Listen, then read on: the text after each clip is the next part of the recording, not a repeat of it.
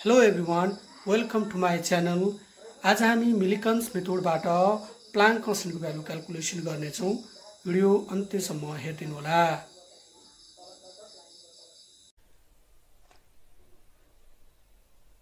Millikan's experiment to determine the Planck constant यो चाहिँ Millikan's एक्सपेरिमेन्टको एउटा एक्सपेरिमेन्टल सेटअप यहाँ देखिएको एरेन्जमेन्ट राखिएको छ। यसमा चाहिँ इभ्याकुएटेड ग्लास ट्युब हुन्छ।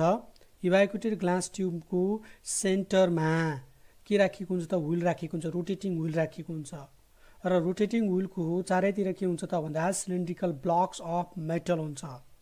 र मेटल आर के कुन मेटल युज गरिन्छ त मोस्टली भन्दा अल्काली मेटल अल्काली मेटल भन्ने बित्तिकै लिथियम सोडियम र पोट्यासियम र त्यसपछि त्यो अल्काली मेटलको सिरिजमा पर्ने अरू पनि पर्ने भयो। मोस्टली के भन्छ लिथियम सोडियम र पोट्यासियम युज गरिन्छ। अनि यो मिलिकन्स एक्सपेरिमेन्ट टुटुमा त प्लाङ्क कन्सट्यान्टको कुरा गर्दाखेरि अब यहाँनिर के गर्छौँ त भन्दा यसको यो विन्डोबाट चाहिँ हामी के गर्छौँ लाइट र फोटोन पठाउँछौँ। यो फोटोन यतापट्टि हुनुपर्ने लाइट र फोटोन यहाँबाट यहाँ पठाउँछौँ। पठाइसकेपछि के हुन्छ त भन्दा लाइटले के गर्छ त भन्दा यो अल्काली मेटलको सर्भिसबाट इलेक्ट्रोन इमिट गराउँछ। त्यसलाई त्यो प्रोसेसलाई फोटो इलेक्ट्रिक इमिसन भन्छौँ।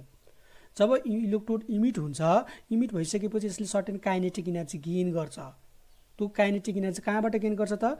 लाइटको इनर्जीबाट चाहिँ फोटो इलेक्ट्रोन्सले गेन गर्छ। र इमिटेड र काइनेटिक इनर्जी गेन गरिसकेपछि यो इलेक्ट्रोड सीतिर जान्छ। जब फोटो इलेक्ट्रोन्सहरू चाहिँ इलेक्ट्रोड सीमा पुग्छ नि त्यसपछि के हुन्छ त भने करेन्ट फ्लो हुन सुरु गर्छ। र त्यो करेन्ट कति फ्लो भएको छ भनेर हामीले के गर्छौँ त भन्दा यो सर्किटमा ग्याल्भामिटर हामीले के गर्छौँ त कनेक्ट गरेका हुन्छौँ। यसबाट चाहिँ हामी कति करेन्ट फ्लो भएको छ भनेर मेजर गर्न सक्छौँ। त्यो करेन्टलाई हामी के भन्छौँ फोटो इलेक्ट्रिक करेन्ट भन्छौँ। र यो कन्डक्टर चाहिँ कहाँ यो जुन चाहिँ छ कन्डक्टिङ वायर चाहिँ हामी फेरि के हुन्छ त विलसँग जोडिएको हुन्छ। यहाँ के लेखेका छौँ यो? खासमा यहाँ कटिङ नाइफ हो। यसको नाम सियुटिटिआइएनजी कटिङ केएनआइएफी नाइफ कटिङ नाइफ हो। यसको फङ्सन के हो भन्दाखेरि to make the surface of surface of metal very smooth एकदम एकदम सर्फेस अफ जुन चाहिँ मेटलको सर्फेसलाई स्मुथ बनाउने काम गर्छ। यानि कि जब फोटोन्सहरू मेटल सर्फेसमा जब स्ट्राइक गर्छ यहाँ photo electric photo electrons emit हुन्छ। फोटो इलेक्ट्रोन्स इमिट हुँदाखेरि यो मेटलको सर्फेसमा के हुन्छ त भन्दा हल्का रफनेस आउँछ किनभने सर्फेसबाट इलेक्ट्रोन निस्किसकेपछि। त्यसपछि यो रोटेट हुन सुरु गर्छ यो यता आउँछ यो यता जान्छ। यता जाँदाखेरि फेरि के हुन्छ यहाँबाट फोटो इलेक्ट्रोन्स इमिट हुन्छ। जब फोटो इलेक्ट्रोन सिमिट हुन्छ त्यसपछि यो रोटेट हुँदै यहाँ आइपुग्छ। यहाँ आइसकेपछि यो कटिङ नाइफले के गर्छ यसको सर्फेसलाई स्मुथ बनाउँछ। यो सामान्य कुरा भयो। अब यसपछि के गर्ने? अब के गर्छौँ भन्दा अब यो जुन इलेक्ट्रोड सी छ नि यो इलेक्ट्रोड सीलाई मैले नेगेटिभ पोटेन्सियल सप्लाई गर्छु। र यसलाई के गर्छु त भन्दा पोजिटिभ टर्मिनल कनेक्ट गर्छु। विललाई पोजिटिभ टर्मिनल र इलेक्ट्रोड सीलाई नेगेटिभ टर्मिनल। जब म नेगेटिभ टर्मिनल अब इलेक्ट्रोड सीमा कनेक्ट गर्छु त्यसपछि के हुन्छ त भन्दा यहाँ नेगेटिभ पोटेन्सियल डेभलप हुन्छ। नेगेटिभ पोटेन्सियल डेभलप हुँदाखेरि इलेक्ट्रोनमा पनि नेगेटिभ चार्ज हुन्छ। अब यसले के गर्छ त इलेक्ट्रोनलाई रिपेल गर्छ। ब्याक रिपेल ब्याक गर्छ। जसले गर्दाखेरि सुरुमा थोरै पोटेन्सियल हुँदाखेरि चाहिँ के हुन्छ त फोटो इलेक्ट्रोन्सहरू केही फोटो इलेक्ट्रोन्सहरू यहाँ आइपुग्छन्। इलेक्ट्रोड सीमा आउँछ जसले गर्दा फोटो इलेक्ट्रिक करेन्ट हामीले we can see the photo electric current र फोटो इलेक्ट्रिक करेन्ट फ्लो हुन्छ। बिस्तारै अब म electric potential negative potential electrode सीमा नेगेटिभ पोटेन्सियलको भ्यालु इन्क्रिज गर्दै जान्छु। बिस्तारै फोटो इलेक्ट्रिक करेन्ट घट्दै जान्छ। र त्यो फोटो इलेक्ट्रिक करेन्ट घट्दै गएको छ भनेर कहाँबाट हामीले थाहा पाउँछौँ त? ग्याल्भानोमिटरबाट थाहा पाउँछौँ। फोटो इलेक्ट्रिक करेन्ट घट्दै जान्छ। अनि नेगेटिभ पोटेन्सियलको भ्यालु इन्क्रिज गर्दै जान्छौँ एउटा पोटेन्सियलमा एउटा भ्यालु अफ नेगेटिभ पोटेन्सियल त्यसलाई हामी स्टपिङ पोटेन्सियल भन्छौँ। त्यति बेला के गर्छ त भन्दा photo electric current becomes zero photo electric current कति हुन्छ? जेरो हुन्छ। त्यसको मिनिङ के हो? कुनै पनि फोटो इलेक्ट्रोन्सहरू इलेक्ट्रोन सीमा पुग्न सक्दैन। जसले गर्दा फोटो इलेक्ट्रिक करेन्ट के हुन्छ? जेरो हुन्छ। यही यस यही पोइन्टलाई लिएर चाहिँ यही रिलेसनलाई लिएर चाहिँ हामी के गर्छौँ त भन्दा प्लाङ्क कन्सट्यान्टको भ्यालु निकाल्न सक्छौँ।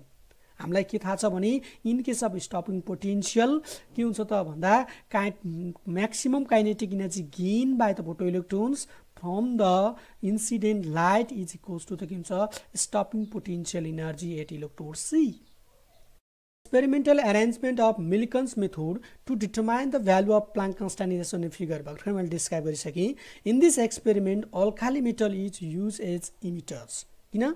Why alkali metals are use in the Millikan's method to determine the Planck constant भनेर क्वेसन सोध्न सक्छ इक्जाममा मोस्ट इम्पोर्टेन्ट क्वेसन हो। त्यसमा के हुन्छ भन्दा अल्काली मेटलको वर्क फङ्सन थोरै हुन्छ जसले गर्दा लो इनर्जी भएको इन्सिडेन्ट लो इनर्जी भएको फोटोनले पनि अर रेडिएसनले पनि इजिली के हुन्छ त फोटो इमिसन कि फेनोमेना चाहिँ हामी अल्काली मेटलमा देख्न सक्छौँ। त्यही भएर के भन्छ अल्काली मेटललाई युज गरिन्छ।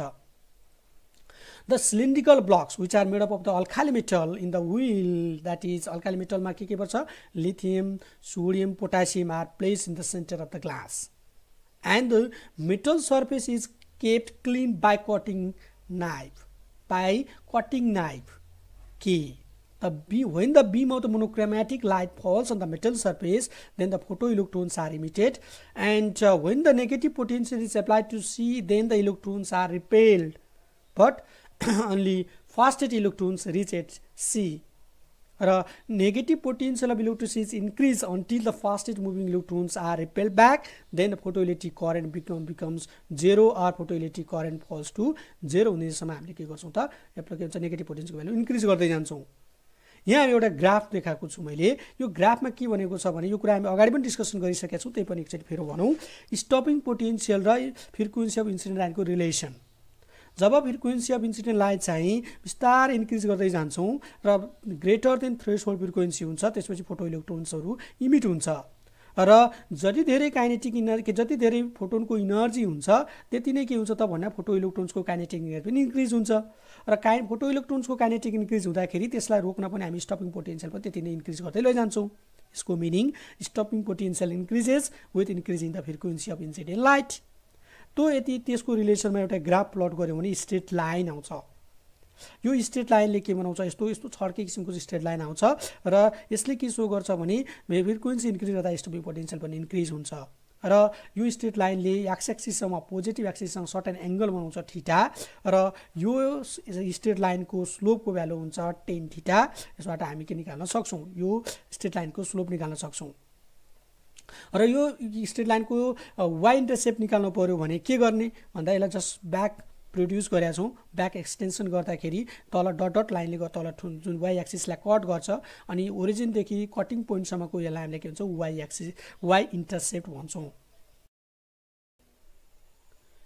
In case of stopping potential, the stopping potential energy EV naught is equals to the maximum kinetic energy gained by electron.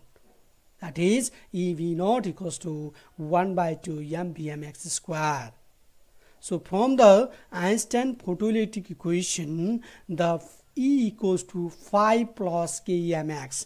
That is, the total energy of incident photon E is utilized, utilized in the two ways. One, first part of its energy is to overcome the work function of that metal and to provide the maximum kinetic energy to the emitted photoelectrons. So, uh, as you know the energy of photon is given by HF and the work function of metal is HF naught and KEMX equals to EB naught from the equation 1. So we can write simply the V naught यसलाई रिअरेन्ज गरेर लेखौँ यसलाई रिअरेन्ज गर्दा के हुन्छ भन्दा h f minus h f not equals to e V not so V not equals to h f by e minus h f not by e यहाँ राम्रोसँग यो इक्वेसनलाई हेऱ्यौँ भने भी नट भनेको स्टपिङ पोटेन्सियल हो। यो चाहिँ अनि याच भनेको प्लाङ्क कन्सट्यान्ट कन्सट्यान्ट भइहाल्यो। E charge of electron constant यहाँ याफ नट भनेको थ्रेस होल्ड यो त frequency of metal uh threshold frequency for मेटलका लागि कुनै एउटा स्पेसिफिक मेटलको लागि थ्रेस होल्ड फ्रिक्वेन्सी पनि कन्सट्यान्ट हुन्छ। भनेपछि याच्याप नट बाई ई भनेको एउटा के हो? कन्सट्यान्ट क्वान्टिटी हो। र यदि यसलाई हामीले यदि राम्रोसँग यदि ग्राफ प्लट गऱ्यौँ भने एउटा स्ट्रेट लाइन बन्छ र जुन चाहिँ के हुन्छ त वाइकस टु एमएक्स प्लस सीको फर्ममा छ। वाइकस टु एमएक्स प्लस सीको फर्ममा छ। यानि कि stopping potential varies with varying the के भन्छ frequency of incident light. potential increase when the um, frequency of incident light increases and decrease फेरि स्टपिङ पोटेन्सको भ्यालु डिक्रिज हुन्छ जतिखेर स्टपिङ हुन्छ फ्रिक्वेन्सी अफ इन्सिडेन्ट लाइटको भ्यालु डिक्रिज गरिन्छ। So the slope याम यहाँबाट यसलाई Y equals time X plus सीसँग compare गऱ्यो भने M equals to H by E हुन्छ। किनभने याच बाई ई भनेको यामको ठाउँमा वाइ भनेको भी नट एक्स भनेको चाहिँ यफ र यो भनेको सी यो या याम भनेको एच बाई ई हुन्छ। सी भनेको minus H F not by E अघि मैले ग्राफमा देखाएँ। त्यसपछि now perform the experiment with the different frequency of light यदि डिफ्रेन्ट फ्रिक्वेन्सी अफ लाइटको पर्फर्म गऱ्यौँ भने फेरि कि फ्रिक्वेन्सी भेराइज गर्दै इन्क्रिज गर्दै गयौँ भने करेस्पोन्डिङ स्टपिङ पोटेन्सियल पनि आउँछ। त्यही if the if the plots of V not versus F is also form of the Y plus plus C यदि त्यो याप नट र यापको एउटा हामीले यदि प्लट गऱ्यौँ भने ग्राफ प्लट गऱ्यौँ भने चाहिँ हामीले के पाउँछौँ भन्दा Y Y equals m x plus सीको फर्ममा पाउँछौँ। त्यसले के भेरिफाई गर्छ त भन्दा आइन्स्टाइन इलेक्ट्रिक फोटो इलेक्ट्रिक इक्वेसनलाई भेरिफाई गर्छ। आइन्स्टाइन पोर्टिलिटी क्वेसनलाई भेरिफाई गर्ने काम कसरी गर्छ त भन्दा इफ द याप नट र यापको भी नट र यापको जुन ग्राफ छ त्यो चाहिँ स्ट्रेट लाइन भयो भने यानि कि वाइकोस टु एमएक्स प्लस सीको रूपमा भयो भने चाहिँ त्यसले के गर्छ त आइन्स्टाइन पोर्टिलिटी क्वेसनलाई भेरिफाई गर्छ। अब simply slope of straight line भनेको याम हो है त्यो भनेको टेन थिटा हो अनि त्यस्तो भनेको के हो त? याच बाई यानि कि या याम भनेको टेन टिटा यो त हामी बच्चैदेखि पढेको भयौँ। याच बाई ई भनेको चाहिँ कहाँबाट त भन्दा याम भनेको याच बाई हुन्छ भनेर हामी यहाँ इक्वेसन इक्वेसन सेकेन्डलाई कम्पेयर गरेर निकालेका छौँ। याम भनेको tan theta equals to H by E भए टेन टिटा भनेको याच बाई ई भयो। सो याच इक्वल्स टु त के भयो त भन्दा simply H equals to E tan theta भनेपछि त यदि स्लोप कुनै पनि स्ट्रेट लाइनको जुन चाहिँ कुनै पनि स्ट्रेट लाइन जसको चाहिँ भिनट र याप भर्सेसको एउटा स्ट्रेट लाइन फर्मेसन गऱ्यौँ भने प्लट गऱ्यौँ भने त्यो स्ट्रेट लाइनको हामी स्लोप फाइन्ड आउट गऱ्यौँ भने प्लाङ कन्सट्यान्टको के हुँदो रहेछ त? भ्यालु थाहा हुँदो रहेछ। यानि कि h equals to e tan theta बाइनो ईको value one point six into पर माइनस नाइन्टिन कन्सटेन्ट भइहाल्यो। टेन थिटा चाहिँ हामी स्लोप के हुन्छ त भन्दा या भिनट र यापको चाहिँ यदि हामीले ग्राफ फलो गऱ्यो भने त्यसबाट निकाल्न सक्छौँ। त के भयो भन्ने कुरा है सिम्पली याचको भ्यालु कति हुँदो रहेछ केमा डिपेन्ड गर्दो रहेछ त? चार्ज अफ इलेक्ट्रोन र slope of state line which is form by the graph plotting between the stopping potential and frequency of incident light र एक्सपेरिमेन्टल्ली के थाहा थाहा छ भने the value of H equals to कति हुन्छ त भन्दा six point six two into ten power minus thirty four joule second the value of H equals to that is value of Planck constant equals to 6.6 into 10 power minus 34 joule second हुन्छ